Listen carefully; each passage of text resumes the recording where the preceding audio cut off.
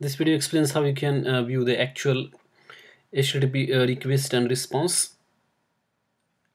So uh, in Postman, uh, you can do that.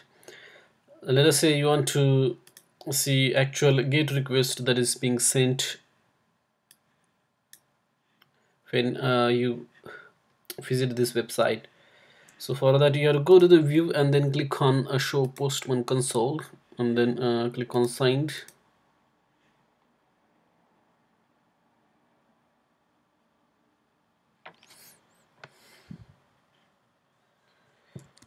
and if you look here uh, in this postman console just expand that and uh, here you can see these details of the uh, request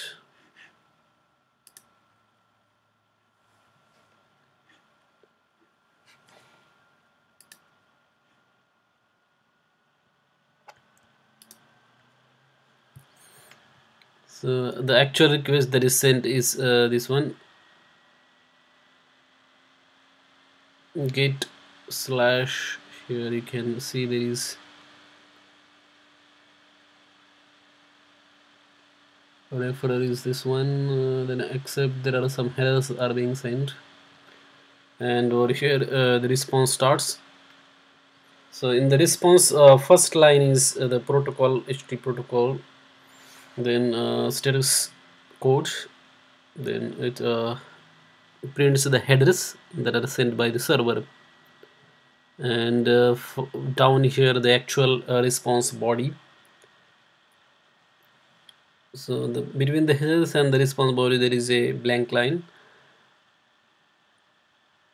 So general HTTP uh, request or the response has got a specific format first of all uh, it will have header and then uh, followed by body. So for this get request there is no body just headers are being sent here. The first line is uh, the request type and then uh, followed by the headers. In the response uh, you can see that there is a the first line is the HTTP protocol and the status code and followed by the headers and then body. That's how we can uh, see the raw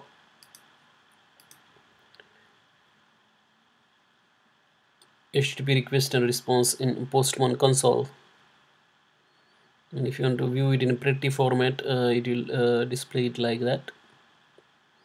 Request headers then response headers and then response body. So it is uh, looking much prettier. Thanks for watching this video